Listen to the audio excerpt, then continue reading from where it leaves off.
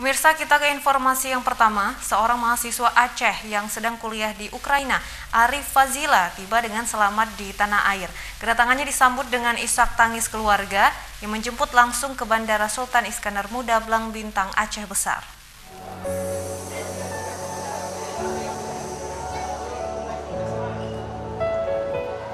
Arif Padilla disambut isak tangis keluarga saat tiba di Bandara Sultan Iskandar Muda Pemulangan mahasiswa Aceh tersebut juga turut difasilitasi pemerintah Aceh yang berangkat dari Jakarta Rabu pagi.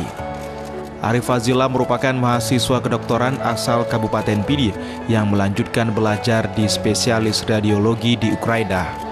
Sejumlah mahasiswa Indonesia sempat dievakuasi ke Kedutaan Republik Indonesia di Kiev dan juga dievakuasi menuju Rumania melalui Moldova.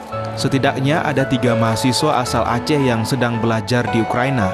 Namun saat ini baru satu orang yang baru tiba di kampung halaman.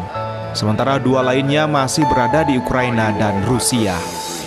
Arif Fazila mengatakan, selama di Ukraina ia dievakuasi ke Rumania melalui Moldova. Di perjalanan masih banyak tentara yang melakukan pemeriksaan. Jadi masa di Ukraina kami uh, bila dapat kabar adanya perang kami semua harus berkumpul di KBRI Kiev. Jadi bila kami di KBRI KBRI Kiev kami ada lebih kurang 80 WNI di sana. Ya, jadi situasi di jalannya masih ada tentara-tentara begitu masih di jalan. Jadi kami nggak bisa mengambil foto-foto-foto begitu di Arif Fazila merupakan satu dari 80 warga negara Indonesia yang tiba di tanah air setelah dievakuasi dari Ukraina. Arif berada di Ukraina sejak Januari 2022 untuk melanjutkan pendidikan spesialis radiologi.